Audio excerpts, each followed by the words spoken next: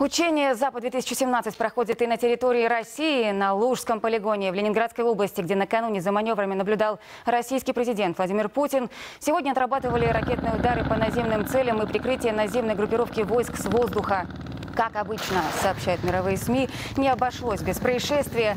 Опубликовано видео очевидцев, где во время тренировки случился непроизвольный пуск ракет класса «Воздух-Земля» с вертолета К-52 «Аллигатор» по скоплению техники и людей.